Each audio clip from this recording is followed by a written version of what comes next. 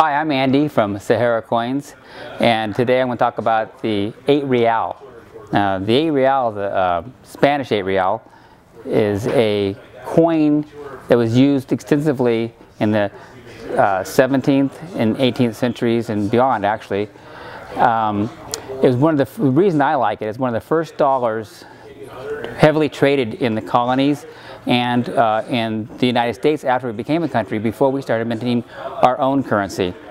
And in fact, there's a few facts about it. It's kind of cool that uh, our dollar is based off the 8 real.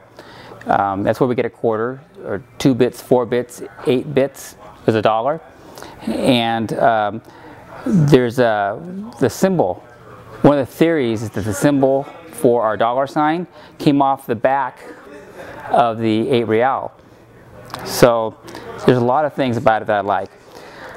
Uh, history is one of my biggest things that I like the most, and uh, just the history of the coins is what I enjoy the most.